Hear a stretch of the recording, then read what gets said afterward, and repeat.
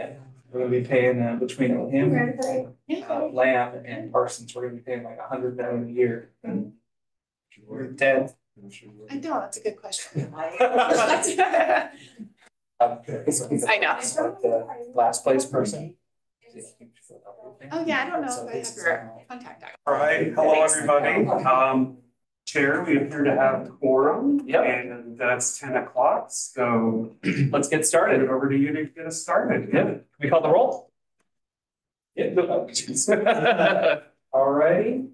Chair Rogers. Here. Member Okrepkie. Here. And Councilmember Alvarez. Present. Record reflect that all three members are present. Perfect. We have no remote participations. We'll go to our announcements. we want to take that? Yeah, we probably do. Let's do that. There we go. Welcome. Thank you. Uh, good afternoon, good morning, Chair and members of the committee. Uh, just a really quick but important announcement. So we have formally filled our Deputy Director of Economic Development. I'll introduce Scott Adair. Um, uh, Scott, I'll let him do a brief introduction, comes to us from Humboldt County, uh, quite a bit of economic development experience. Um, but before Scott does his introduction, I would like to publicly thank Jill Scott for her service over the last well, I know it's difficult with the acting assignments. It is a double duty of sorts, and Jill filled a lot of roles, um, did a fabulous job getting the strat plan up and running and, and creating a really solid foundation that I think Scott can step into and, and, and really do amazing things. And I think it's also important to note that the people you see at the table are going to be the economic development team moving forward. Um, Jill in her real property role is still going to have a, a specific responsibility for economic development. Um, and this is going to show how we're going to partner together with various departments and divisions in the city to implement the goals that we're putting forward in the track. Um, so thank you, Jill, very much for your service. Um, and with that, Scott, if you'd like to do a brief introduction. Uh, yeah, just quickly, my name's Scott Adair, and so you know a little bit about who I am and some context as to where I'm coming from. Uh, I spent the last six years as the Economic Development Director for the County of Humboldt.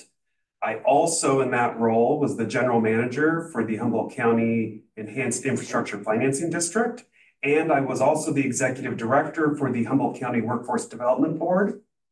In small counties, you wear all the hats. Um, so I was managing and overseeing a team which effectuated those three programs. And over my six-year period of time with the county, brought in an additional twelve million dollars in new revenues to the county, grew the team from three staff to nine staff, and grew the number of programs and initiatives by about three hundred percent uh, that were supporting workers and businesses. Uh, prior to that, I came from private sector. I actually spent most of my career working for a number of real estate investment trusts uh, on the economic development side, and also a former business owner as well. Um, my partner and I, Shannon, uh, she and I own a coffee shop. And uh, so we've been entrepreneurs and, and we've done that. I'm just really excited to be here. Uh, I was really impressed by and, and drawn to Santa Rosa when I came down for a CALED event, uh, California Association for Local Economic Development. And uh, I think that event essentially is what recruited me here. I'm really excited about working with the team and Jill has been amazing already. And I anticipate we're going to work really closely together. So um, you're not being handed off, you're just being given an expanded larger team. So thank you. Oh, thank you. I think first order of business is going to be to cancel allowing our staff to go to any conferences every. Uh, That's how recruitment happens. No, we're, we're really excited to have you. Uh, just for my colleagues, I have a, a good friend that works for the county of, of Humboldt who texted me how upset she was that you were leaving, uh, to come here and how angry she was at me that Santa Rosa was able to recruit you away, which I think is a very good sign That's for a good sign. And I'm looking forward to working with you. Anything for my colleagues? Welcome. Yeah, Thank you. we spoke earlier, but yeah, welcome. Thank you. And then let's see if there's any public comment. I don't see either of you. I'd like to add that he has been publicly endorsed by several people who work at our lead center, uh, SBDC as a lead center in Humboldt. And many, many people have had a long history with him and said nothing but wonderful things, so. great. Perfect. Thank you. Well, welcome. Thank you. And the trial by fire, I'm sure we'll jump right into it. Uh, so we do have some minutes from July 9th. Do either of you have any amendments Anybody from the public have any amendments? Cool, we'll show those adopted. Uh, let's do public comment for non-agenda items.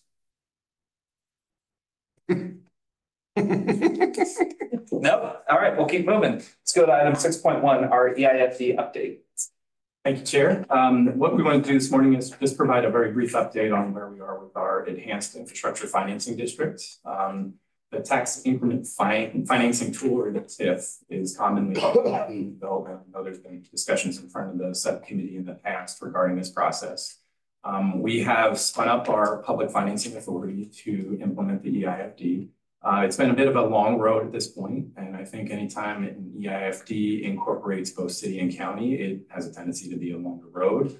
Um, we were the first out of the gate, Sonoma County. Um, so as we started this process, the county as a whole adjusted from a policy standpoint to be able to handle inquiries from other jurisdictions.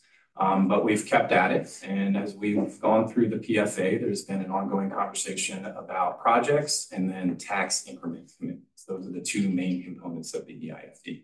Um, and in many ways, it's difficult. It becomes a discussion about the chicken or the egg. Which one do you decide first? Um, and there was quite a bit of conversation about the projects and understanding return on investment on those project categories to understand then the financial commitment that the county is willing to put into the mix. Um, and much of that conversation at the PFA was really about catalyst projects. Um, we, we presented concepts of beautification, of activation of public space, uh, but really this concept of supporting that game-changing development in the downtown that just kickstarts that economic development and brings that activity in really dominated the conversations in, in front of the PFA. Um, now, the challenge with that is that project isn't really at the table. It gets to a lot of what Simon is doing at the Sears site.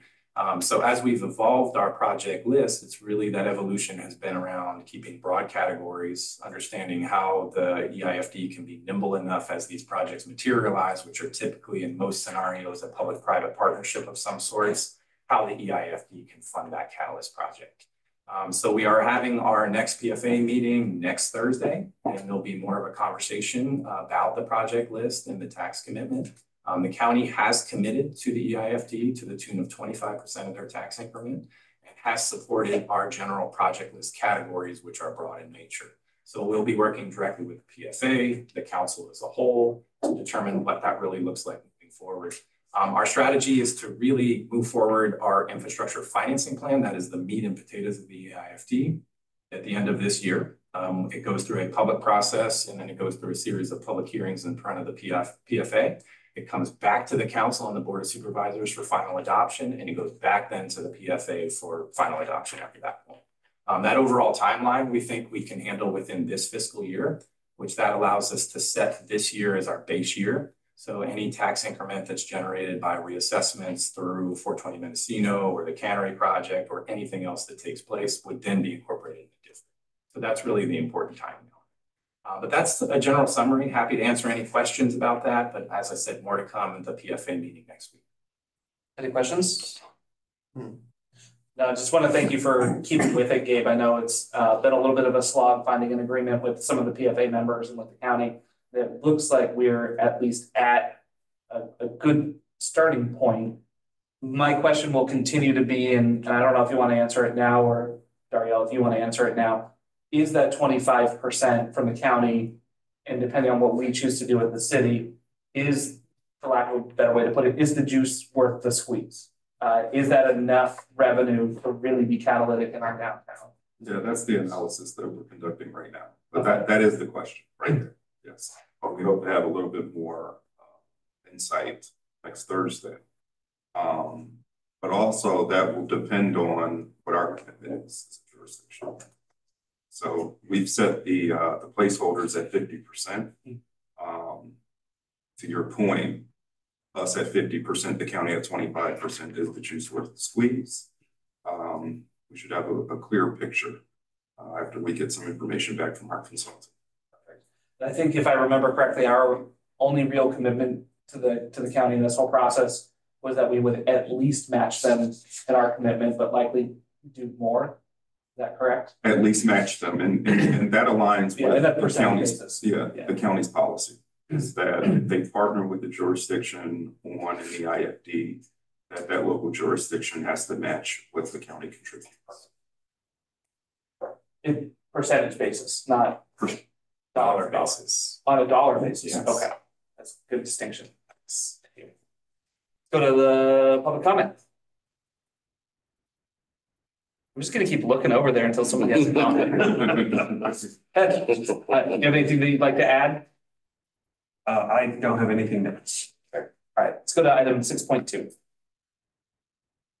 Uh, thank you for having me back this committee again. It's nice to be able to report out to you today. I think everyone knows me, but for those of you who don't, I'm Kate Sminkle Allenson. Um, I'm the executive director of the Downtown Action Organization, which is the nonprofit organization that runs the Downtown Community Benefit District. Um, our offices, we operate out of the chamber, but are separate from the chamber as an organization. Um, so I'm really happy to kind of provide you with some updates on downtown today. I'm gonna just do a quick report out on downtown business changes, Fourth Street vacancies, projects and programs the DAO is working on, um, and a quick report from Next Street, which is our blue shirt team. Uh, if you want to hear anything else from me at future meetings, just let me know and I'll make sure to include it. Um, I want to start by it's funny, as I was preparing for this, I was thinking, what did I used to report? It's been so long since I reported. So I pulled up a bunch of my notes from past ones and I always started with thank you to staff. And I was looking through who I was thanking and the projects and I was like, wow, this has been so consistent, how involved staff has been in downtown, how much staff, how much energy and time and um, attention staff have paid to downtown. And so I'm gonna just continue that again and say thank you to staff. We've made a lot of progress on issues related to downtown. I'm really excited to welcome Meredith and Scott to the team um, and to kind of keep Jill in the fold more. I think we've got a lot of uh, momentum that we can keep going right now. So thank you to everybody. Um, quick updates. I think everyone has probably seen that unfortunately Towns has closed. Um, it's unfortunate we couldn't keep them going. We do have a new restaurant going into the Mary's space. Um, and then I don't know if everyone has been into Espressioso's coffee yet. Um, it's a great couple running that little coffee shop, but they're all the way in the back of the building. Um, they do have a new vintage shop that they think is opening up there on um, October 1st. So excited to support them and kind of get that concept going. Right now, on the three primary blocks of Fourth Street, we have nine street level vacancies. Um, it doesn't include things that are in motion, but um, we're trying to kind of keep track of that as, as looking at our main uh, downtown street frontage. And then as with most city centers everywhere right now, office leasing is extremely slow in the downtown. And that's something you've heard from us a lot recently. Uh, some of the projects and programs we've been working on, um, circling back to something from quite a while ago, the Santa Rosa Now project that we started, all of those pieces are together. The website is live. We have the um, brochures, I actually have some with me if anyone wants more of them. Um, and we're looking forward to working with staff to kind of keeping that moving and, and getting the word out on that. Do you want to give a little context on what Santa Rosa now is? Yes, um, anything that needs more context, I'm happy to provide. I think I just so used to talking about it, I probably skip over it. Um, Santa Rosa Now was kind of a, a, marketing effort that came together with the economic development team to um, promote Santa Rosa as a good place to start your business, to grow your business, um, to develop, to bring in new concepts. So it really focuses on the downtown area. Um, it talks about the benefits of being in the downtown, um, has some quotes and interviews from business owners in the downtown, and it really was meant to be, you know, a very attractive visual piece that um, shows the benefits of Santa Rosa. So um, we haven't done the rollout of that yet, but we have all of the pieces and, and the information's live on the website. And then again, I've got some with me if anyone needs more. Um, so that was just kind of like a highly polished piece that we put together over about a year. Uh, Rosie the trolley, Rose E the trolley. Um, that program is nearing the end. We've got about three weeks left. So the DAO has been running that program since May. Um, huge thank you to the city for coming on as a supporter of that pilot to test it out with us. Um, we've gotten great feedback so far, good ridership data. Um, I'm going to do a pretty thorough review of that whole program when it ends on September 29th. So possibly at the next meeting, I'll, I'll share a bit more detail on that. Um, I'm going to talk about, um, we'll have some, bring in some conversations with key stakeholders and look at what some potential options might be, whether it's looking for other partners to do a similar program, whether we don't recommend it, which I, I don't know if that'll be the case, um, but really being able to kind of take a, a full look at um, what that program did for the downtown area. Um, I'm not sure if everyone is aware right now, but like literally right now, at this moment, the Public Works team is out putting up some um baskets, some flower bag, well, planter baskets on the light poles in Courthouse Square. And that's thanks to a really great partnership with city staff over the last few months to kind of add some color um and make Courthouse Square a bit more dynamic. And we've all heard after the reunification, lots of um complaints about Courthouse Square being very bland, right? Which is really the intent was to have it be a gathering space and it's doing a great job serving that purpose. Um, so, so we've been working with city staff to get um some color in through planters. We have got about thirty planters going in on our poles and about um a dozen uh pole banners going in. So the planters should be in in the next month. Um, and then the the pole banners by the end of uh by the end of the year. So we're just waiting for some supplies to um come off back order for that. So that's a, a huge thank you to Dario for pulling that group together, um, and to Jason and his team for working through the install, um, and the Parks team and Zero for their help on that too. So that was a really all hands on, uh, on deck effort. So I'm excited that it's coming to the end. Um, I know Meredith, you're gonna talk about the fountain, um, after the APPC meeting yesterday. The, DAO's role in this is really just to support, um, the fountain being rebuilt by HFC. We did some fundraising back in twenty nineteen, um, twenty twenty maybe. uh, and raised about hundred and thirty thousand dollars to meet the need of that project at that point. I've not seen, um, numbers yet around what it's gonna cost to rebuild, so. Uh, I don't know if additional funds will be needed or need to be secured for that to be built, but we're kind of preparing and, and working through that now as we wait for that information. Um, the DAO just is gonna start working on some of our kind of consistent maintenance projects. We've got a number of planters that need to be replaced. Our trees are gonna have some maintenance done. Um, and then we're gonna work on some lighting upgrades as we head into the holidays. So those are all coming. That's all uh, downtown infrastructure. Uh, and then Next Street, so Next Street is our, our blue shirts, we call them, they're kind of our, our downtown maintenance, security, um, and support team. Um, they work within the boundaries of the district. And we have a really great tracking system that kind of shows us the stats. We can look at trends. Um, always trash pickup is the number one item. Um, usually first thing in the morning, they have quite a bit of trash to pick up, but one of the things we, and that's been consistent for the five years they've operated. Um, or we've had a team down here, it hasn't been Next Street full time. But the other time consuming items for them right now are graffiti removal, which is huge. Um, bulk items and then cleaning of the infrastructure downtown, whether that's light poles, trash cans, picnic tables. Um, that takes a, a lot of their time as well. Um, one thing that's probably worth noting and we'll be rolling out soon is that their phone number is going to be changing. Uh, we're, we're trying to figure out a, a better system to make sure that responses are, are going out to folks faster. Ideally, in an ideal world, this team is, is fully proactive and they're taking care of everything before it even comes to um, the attention of the property owners within the district. But the reality is right now they are very reactive. So we rely on people to report instances of graffiti, to send in photos of trash cans that have been rummaged through, um, send pictures of things that the team can help with. And so we're trying to kind of streamline the process of, of that information coming in. So that's why we're getting a new number. That'll go out in the downtown newsletter. If anyone's not getting the downtown newsletter, let me know and I'll add you to that list. Um, and then we're going to be sending out cards.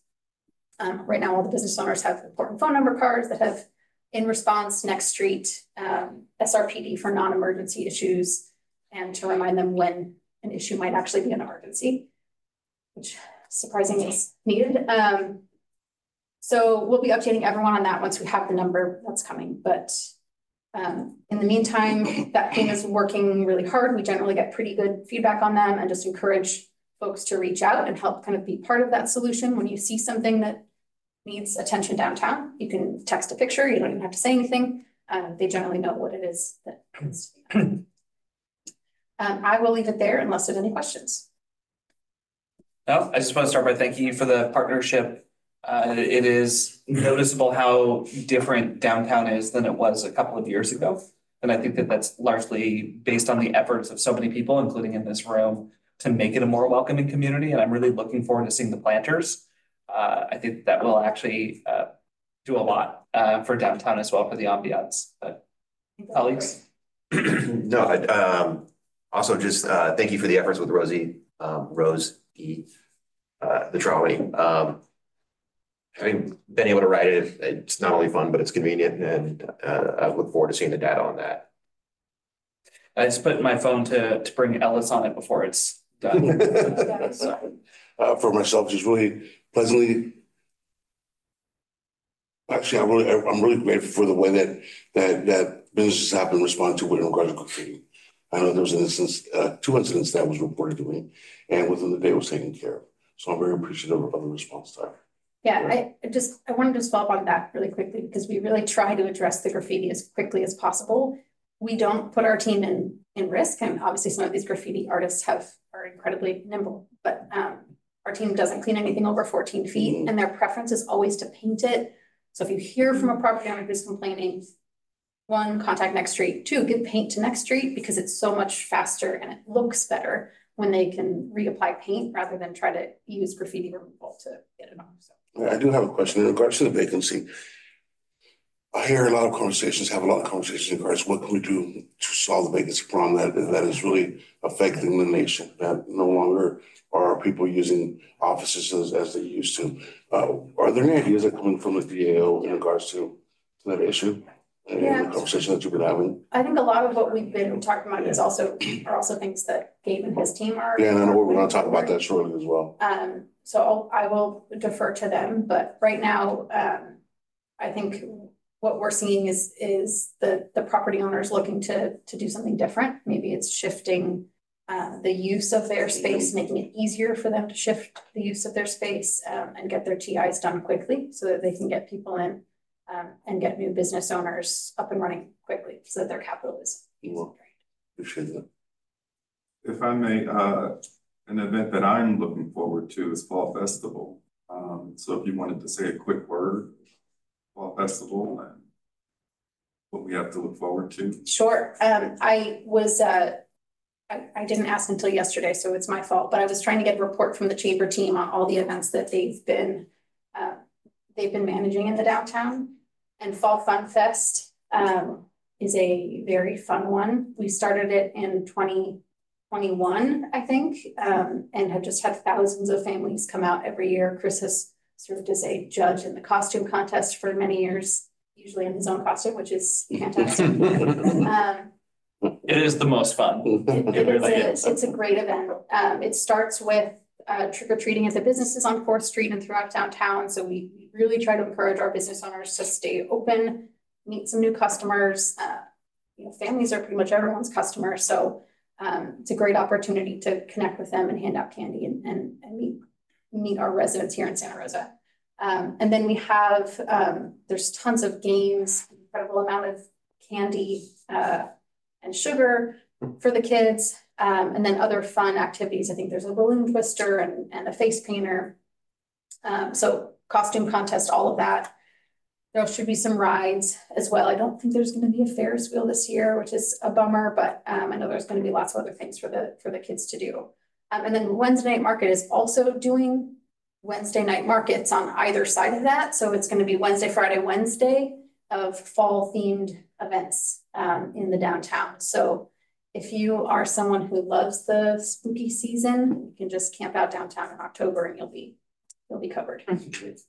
Yeah, the uh Fall Fun Fest is still responsible for my favorite complaint I've ever gotten on city council, which was the Ferris wheel. And getting a very angry email from somebody that small towns don't have Ferris wheels and we're a small town, so why are we having a Ferris wheel this way? You never showed that. No, Oh, no. but it it was, it was absolutely my favorite and it is a fun time, uh, so I'm looking forward to it again this year. And maybe I'll get to judge the costume. I don't know. We have any public comment? Nope. All right, go on. Thank you. Really great to have you here. Let's go back, uh, item six point three. All right, Chair and council members, thank you very much. I'm going to, for item six point three, just be giving an overview of the current um economic conditions.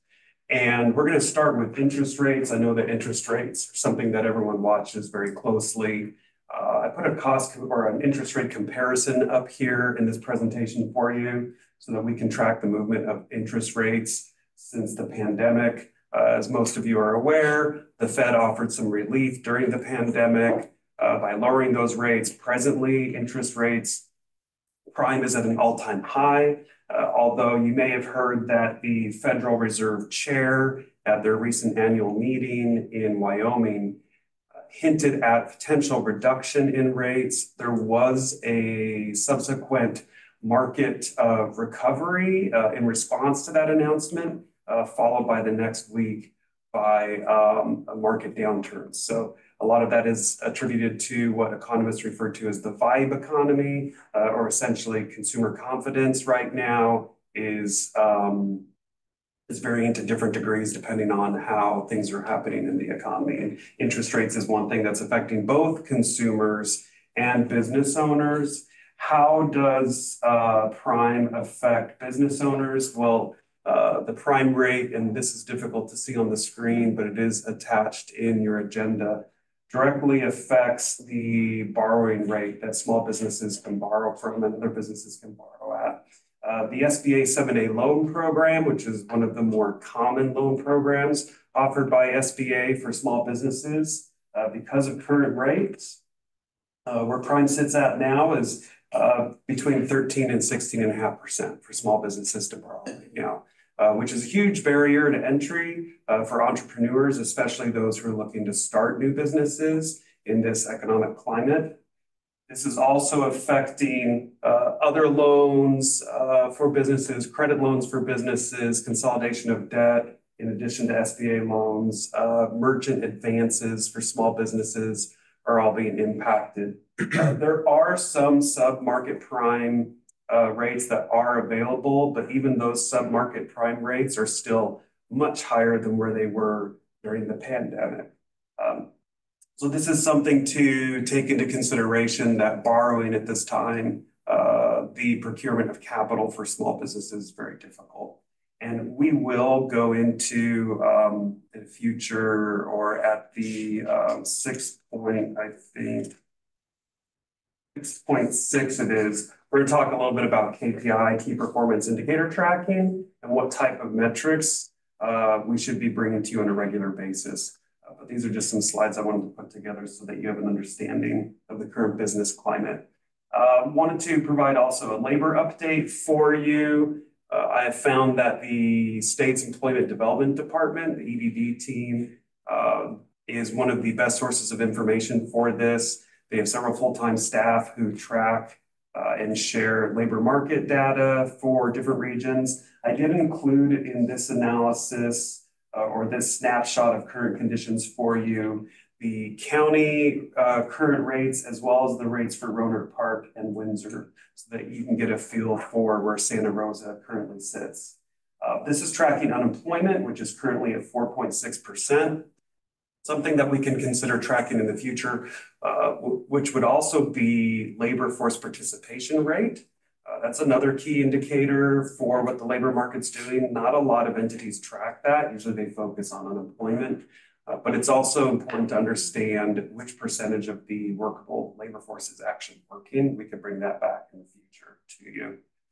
Uh, you can see that Rohnert Park is at 4.6, Windsor is at 4.3, and Sonoma County is currently resting at 4.4% unemployment. And these numbers are as of July. So with economic data, we're always looking in the rearview mirror. Um, I thought it would be interesting for our ongoing labor updates to start talking about and sharing information regarding top employers uh, in the city. This is information that comes from essentially census data. Uh, there could be top employers here who are missing. The industry typically tracks these employers in a range of employee size uh, from a thousand to just under 5,000 employees being at the max. And you can see that we're tracking anything down from 250 to 499 employees. Uh, interestingly enough, for um, SBA, a small business is considered to be anything with under 500 employees. Uh, which is still a sizable employer. And so as part of our business retention and expansion program, which will be rolled out in conjunction with implementation of the Economic Development Strategic Plan, we will be developing um, a model for regular outreach uh, with these large area or these large employers in the area and tracking those activities and, and bringing those updates and activities to you. And this is, um, I didn't see wage tracking in prior uh, presentations, but I thought this might also be something that uh, your committee might be interested in. We can actually get very granular with this and we can go by industry type or sub-industry type, but this is just the aggregate of all occupations currently in, in the uh, market. Uh, and what the mean hourly wage is, which is just under thirty-five dollars per hour, that equates to about seventy-two thousand dollars annually uh, in salary. And then a um, uh, standard for the twenty-five or the twenty-fifth, fiftieth and seventy-fifth um, ratios for what those, how those wages break down. And again, we can add different occupa- occupation types or if there are target industries or sectors that you're interested in seeing more data on, we can bring that to you. Um, working with CoStar on analyzing vacancy rates for the market. This is something that Jill and I talked about extensively, and I imagine we'll be working with Cadence and DAO regularly moving forward, especially for vacancy in the downtown. I know in the past you were provided with some graphical representation uh, in the form of charts as to where vacancy is currently going. Um, I took that data and I charted it out using um, CoStar information, which just for context, CoStar uh, is a real estate tracking tool, uh, data analysis tool, and also a listing service. And it's considered to be uh, one of the premier commercial real estate listing data analysis tools that, exists out there in the market. And you can see that presently, um, as was indicated by Cadence, that um, we do have in the office inventory category um, quite a bit of vacancy. And there, there, even though there has been some positive absorption, uh, absorption essentially just means that there has been some additional space which has been leased in the market, uh, but there is still quite a bit of vacancy that does exist. Um, and again, we'll go through, we have the discussion around key performance indicators. If there's more specific data that you want to see, this just tracks the current inventory that does exist, as well as what the market rates are for that inventory type. You're seeing industrial, office, and retail in that uh, order. And next time I'll make sure that we um, notate that on the slide. Any questions about um, any of the data that was presented on interest rates or vacancy rates currently or labor market information? For myself, on, on the, on the one on labor, I would like to see the numbers on, on technology. Uh, opposed to manufacturing for, for a city being that. Just keep an eye on, on our, on our highest positions. Like to see labor data on the tech, tech The sector. technology- On the tech sector spe- specifically.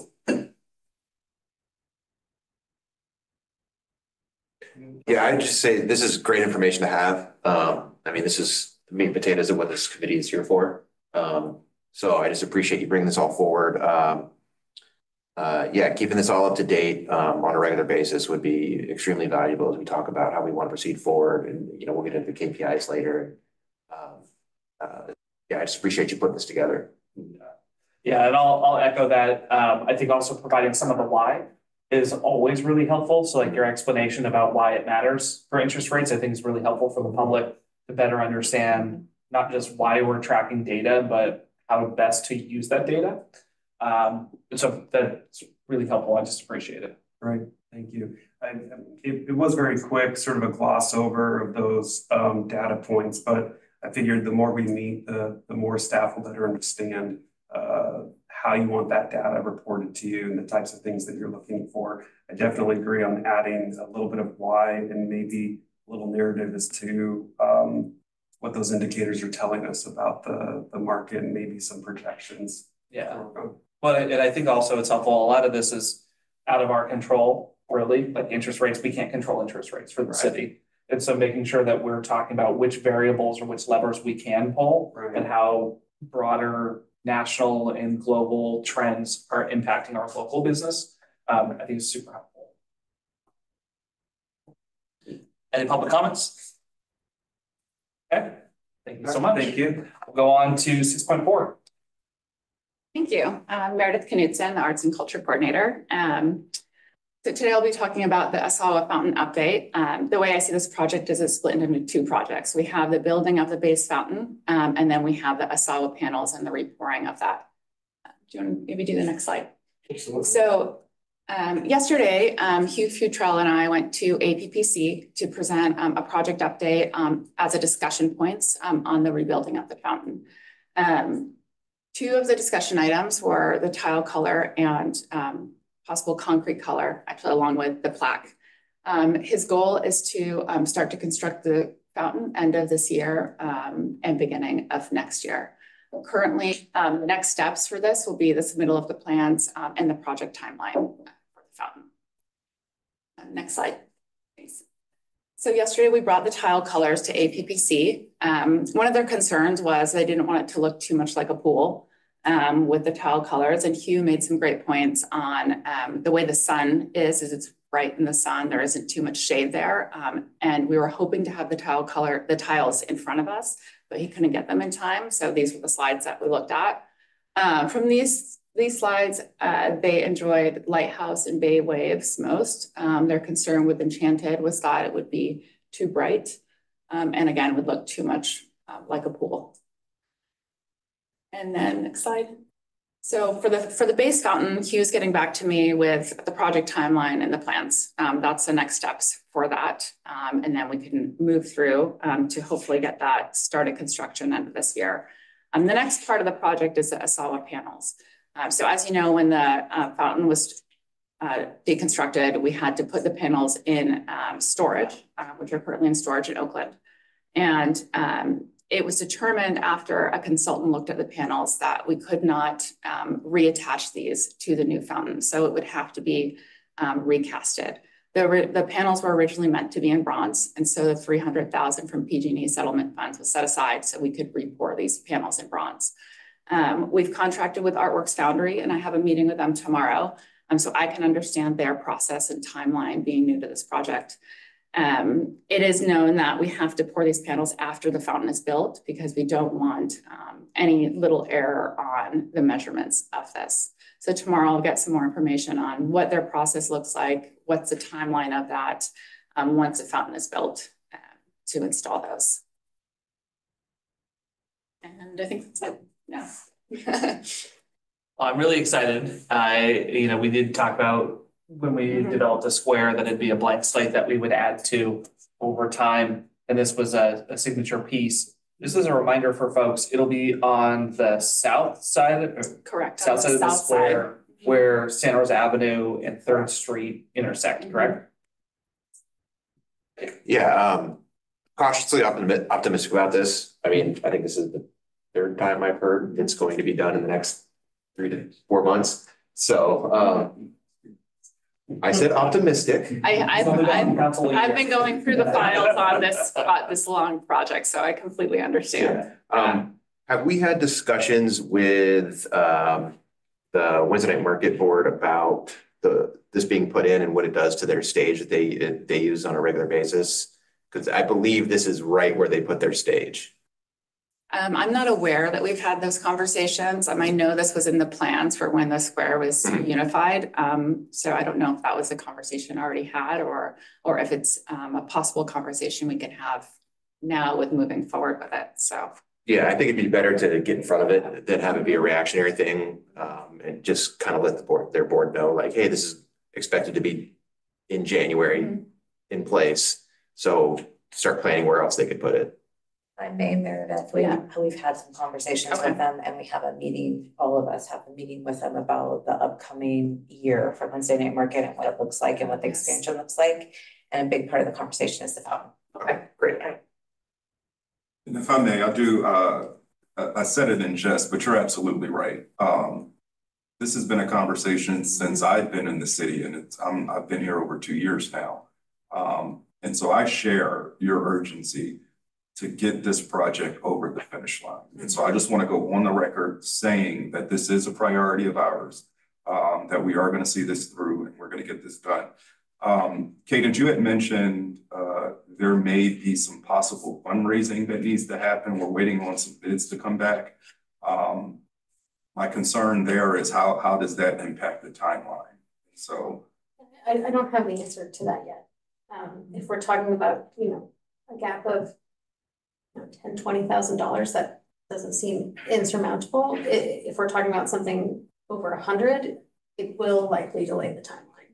But I don't, I don't know what that is yet. right, right. So do we have an idea, um, when we expect to see some of those, those projections? I hope this week. Okay. Um, Thank you. yeah.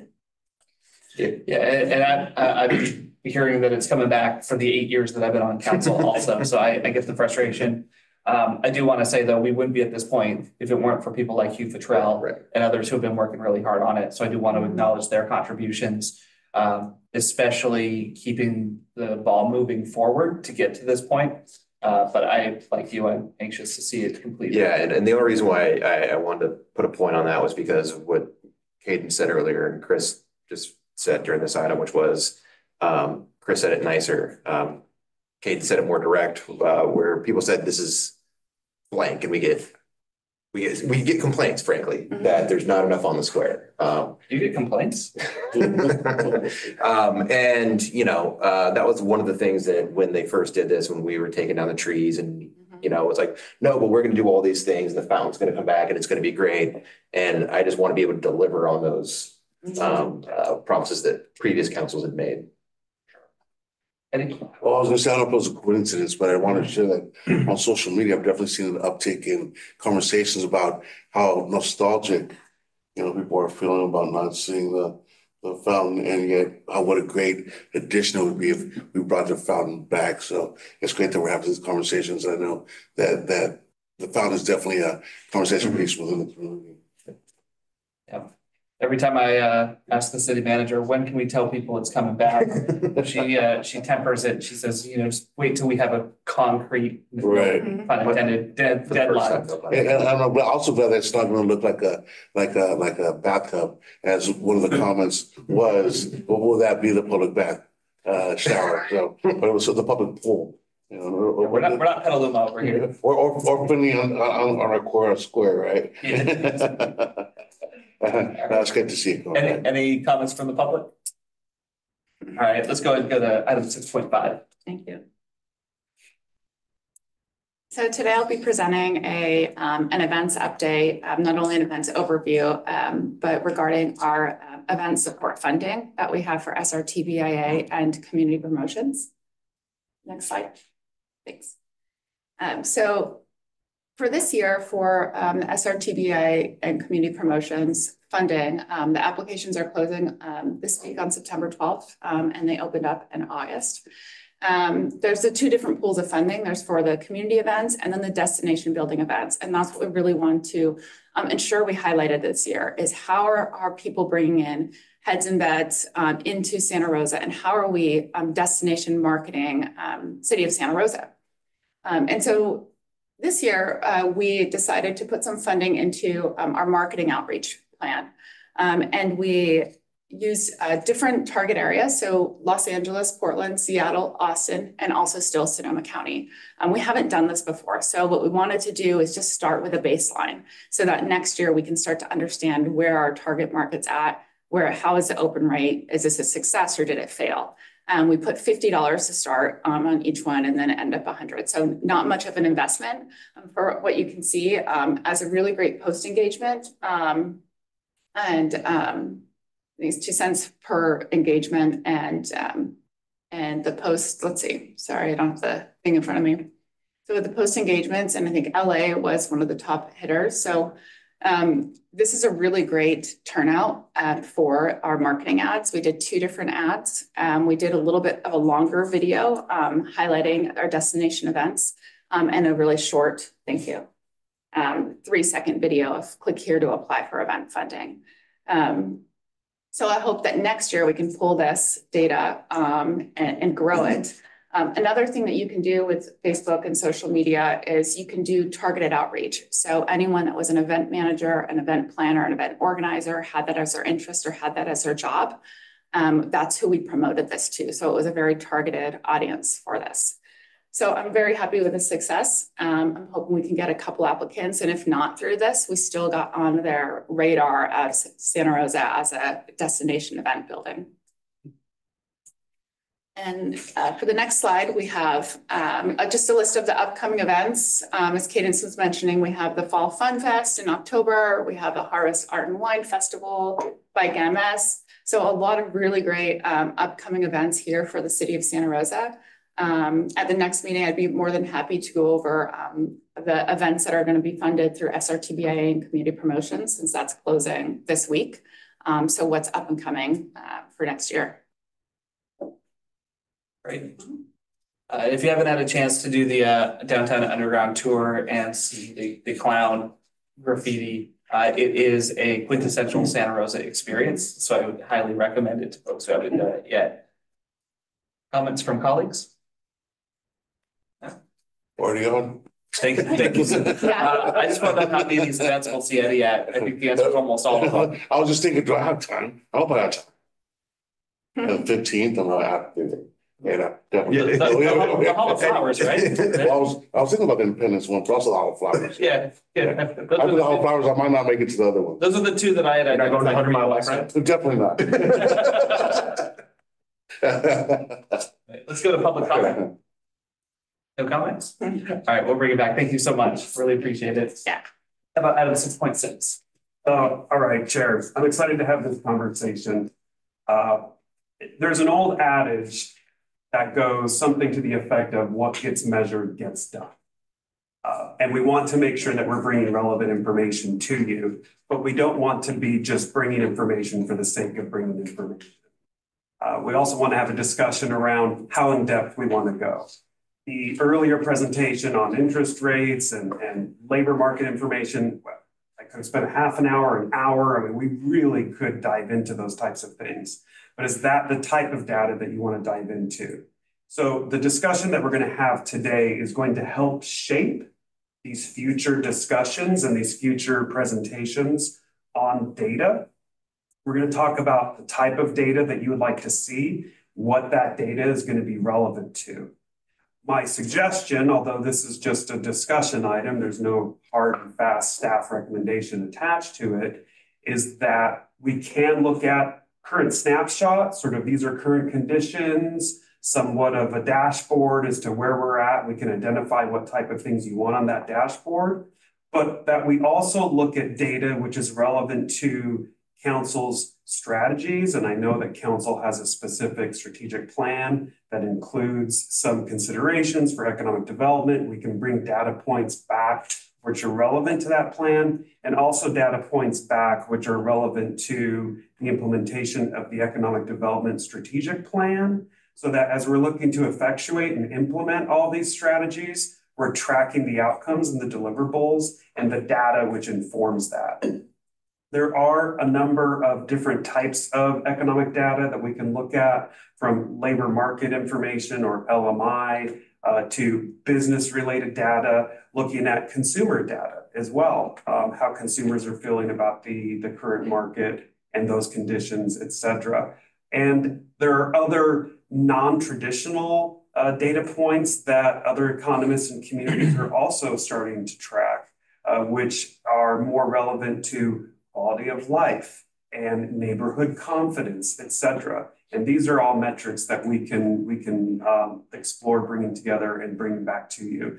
There are some examples of these data points um, that are included in your presentation uh, or in your agenda packet. Labor market information, uh, unemployment I covered uh, previously, and I included a little bit of wage data we can also include labor force participation rates. We can start breaking into employment data by industry, including wage data uh, and participation by industry. We can start bringing back potential projections for you so that you can start identifying trends uh, as to where, um, uh, where careers are moving in the market. Some of the more common consumer indicators include CPI, which is the Consumer Price Index. There's also a savings indicator that a lot of economists like to track, uh, which tells you the, the savings behaviors of individuals and whether individuals, consumers are saving more presently or they're not saving more presently.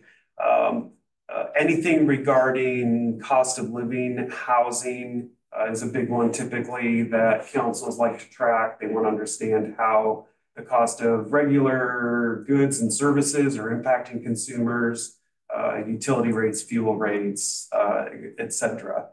Uh, and, you know, Gabe and I have also talked about um, permit activity tracking what some of the um, activity on the planning side looks like. That can give us a little bit of an indicator as to what's happening in the business market uh, from new business startups, uh, business expansions. Those are types of things that we can bring back to you uh, tracking market vacancy. I threw a slide up earlier with some, you know, square footages and some market rates, but what does that mean? And, and where do you want staff to take that for you in terms of, as you indicated, Chair, the why and what that potentially means as far as impacts to the community? Um, and then, of course, going back to some of just the general community economic indicators understanding what our private to public investment ratios look like in the community. Some communities track very um, uh, specifically uh, what any of the public infrastructure ongoing um, liabilities or obligations are, um, what that ratio is compared to a private development in that particular site. Uh, some communities chase after a certain, you know, 20 to 1 up to a 40 to 1 ratio. Um, and for some councils, that's not important to them. So I think that really what I was hoping to hear from you uh, so that the type of presentation that was done earlier um, can be very uh, effective and meaningful to what it is that council is trying to achieve uh, and in those two guiding documents, council's strategic document, the strat plan for economic development, uh, the types of information that you'd like to see. Also bearing in mind that we can rotate it too, right? We can have a conversation with a focus on the tech industry. Uh, we can do it by industry sector. We don't necessarily just have to bring you a big pile of data every time we meet. So would love to hear your thoughts and get your feedback. And then from that feedback, staff will work to put together a bit of a work plan around those data points and what the delivery of that data could look like.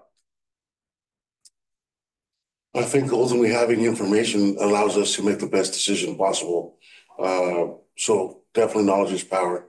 And although no longer with us on council, I know that uh, Tom Schwedhelm, you know, or the, it's the word for me, the word metric and a lot of information that would would just put a smile on his face. Mm-hmm. Um, so for me, it's it's almost a process of, of elimination.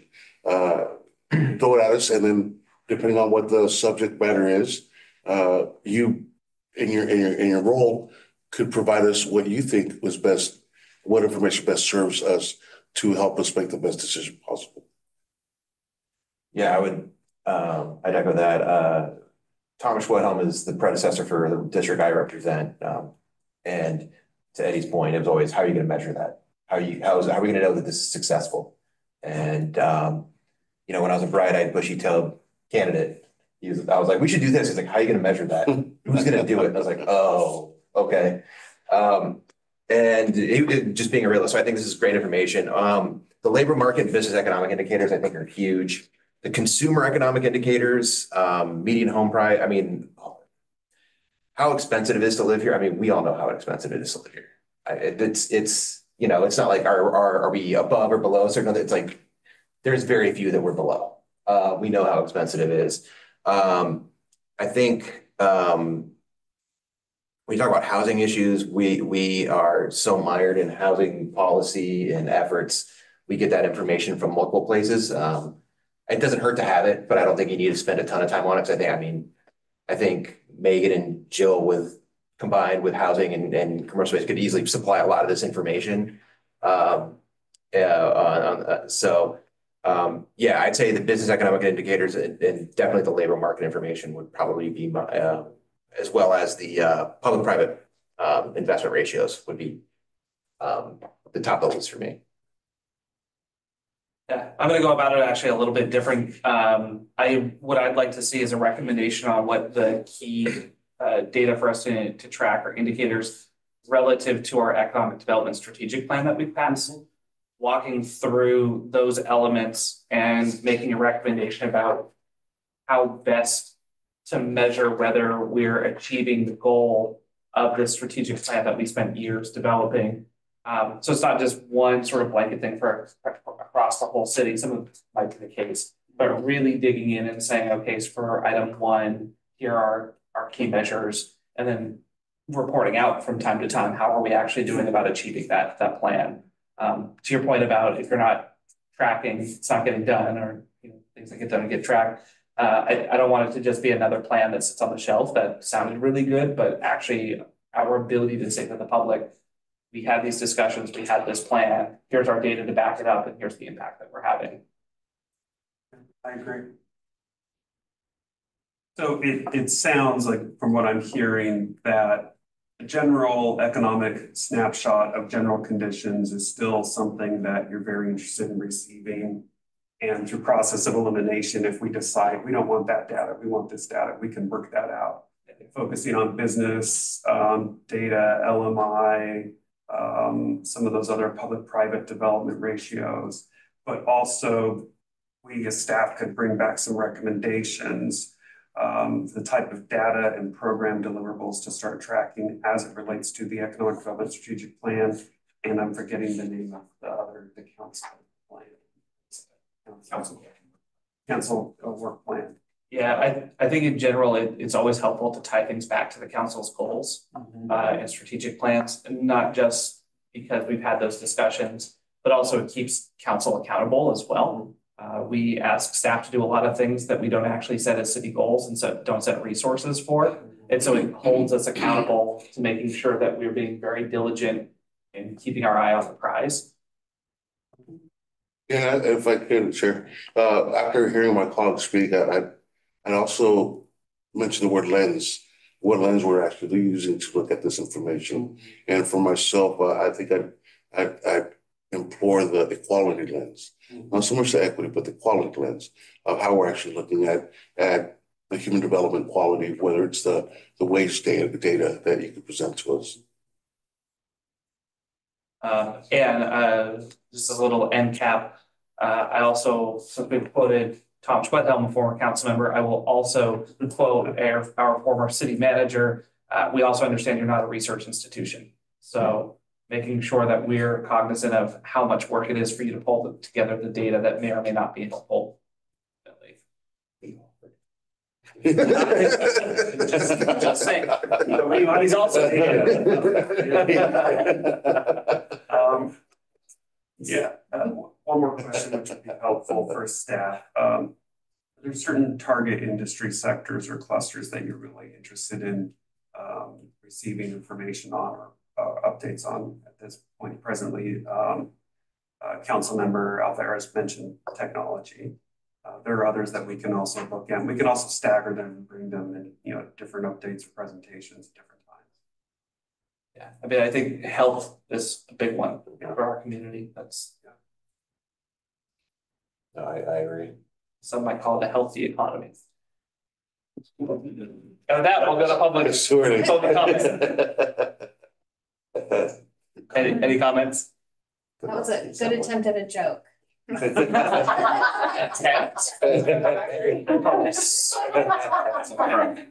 Shut it up. I'm gonna have to, Fantastic. I'm gonna have to break out my, uh, my medical puns, and I do have a list of them. All right, I'll bring it back. To go to trade side. So, uh, Chair, that concludes the presentation of materials on the new business items. Um, and so I think that takes us back to, uh, matters held in committee and then department report. I don't think we have any matters held in committee, so let's go to department reports. I think just very quickly on the department side, um, what you're seeing is we're filling vacancies in positions. So, um, we have one vacancy left, and that's the administrative analyst position in our economic development section that was granted through the budgetary process, and we're in the process of recruiting for that. And then once that position is filled, the team is full go. Um, and the train is on the tracks and we're moving. And I think what you'll hear in the next few meetings, there'll be a lot of discussions about the foundational elements and really that battle rhythm that, that you're looking for as far as meeting to meeting. Um, and the data gathering request is an important piece to that.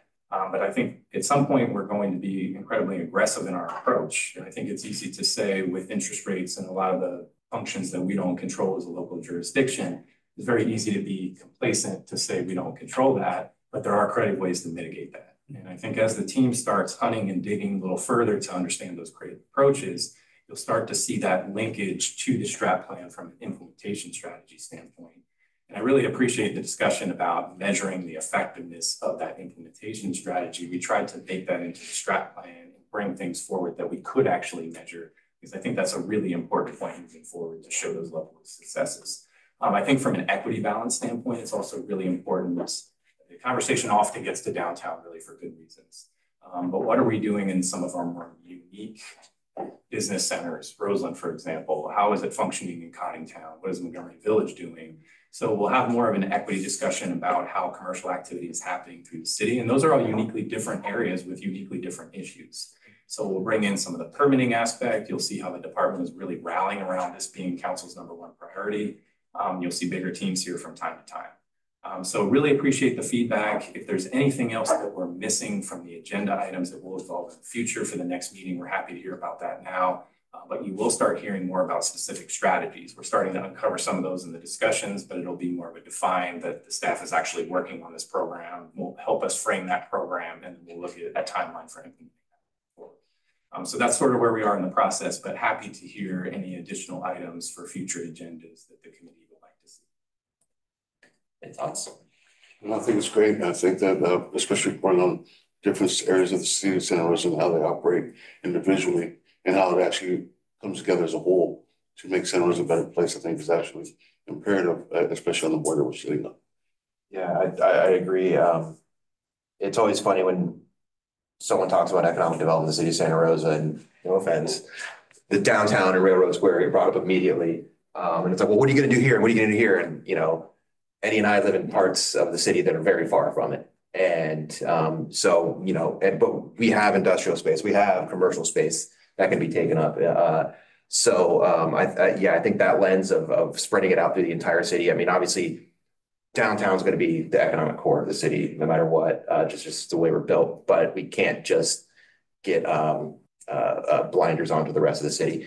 Um, one thing I was I was interested in is if there. Um, I know when um, uh, you know businesses looking at look at coming to Santa Rosa, sometimes they interact with the city or some of our partners in in um, uh, in uh, the real estate. Uh, the property owners, I, it, it, would it be possible to get sort of a, a recruitment um, uh, analysis done of like, hey, what are some of the things that we hear that they say like, oh yeah, we'd come here, but, or we came here specifically because like we like this or we like that, or I think, you know, when we're looking at our strategic plan, it helps us kind of focus in on a few more things. I, don't know if that's a, possibility or. Yes, I think that's absolutely a possibility. And I think what it dovetails into is our recruitment and retention strategies. Mm -hmm. Because the important piece is those things that cause people not to show up. What are those and what can we do about those? Um, but then it's also celebrating your successes and really the good things about Sonoma County and Santa Rosa in general that attract businesses. So what you'll start seeing is as we we identify potential incentives and we build out those programs. I think that pulls it into the conversation, links it back to the strat plan. But I think it's an incredibly important piece of the direction here in the next six months is to really define that and then have some really good conversations about what we think that's going to look like and where we can be aggressive, where we can't. Um, but that's really a big piece is having that strategy in place. And as I mentioned, I think it ties that together. Yeah, it's just one of those things like we don't know what we don't know, right? And uh, you sort of like when businesses have an exit interview with an employee, like, why are you leaving here? What what went wrong? And you know, sometimes negative feedback is the best catalyst for change. So, um, yeah, thank you. And if I may, Chair, yeah. um, on celebrating successes, I've got three shout outs. Um, first and foremost, Jill has done a yeoman's job of keeping the trains running on time. Um, we've asked her to step in in an area while there is some overlap, isn't necessarily her area of expertise. Um, and she did a phenomenal job. And we are uh, fortunate that we're gonna be able to continue to work with her. Um, she can focus more on real property, but there is an intersection with economic development and the relationships that she has helped the city foster downtown, whether it be Simon, whether it be some of the business owners, um, attracting different, uh, developers and, and things of that nature. Uh, it's, it's critical to our economic development goals. So Jill, thank you, thank you, thank you. Um, I also want to shout out Gabe. Um, Gabe is, you all don't know, uh, but I've been in the trenches with him for some time now. Gabe wears a ton of hats. And on top of all of that, we asked him to run a department, right? A department that isn't solely focused on economic development. Um, and I couldn't ask for a, a, better partner.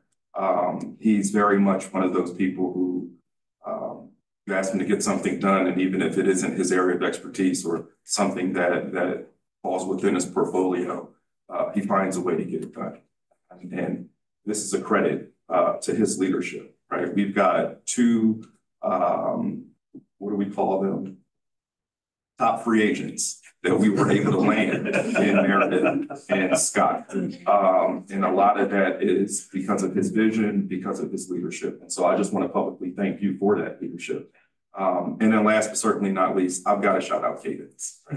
So, um, Cadence is the executive director of the Downtown Action Organization, but her role is so much more vast than just that. When we're talking about a South Fountain, for example, well, this is a, a partnership with Hugh Futrell Corporation in the city.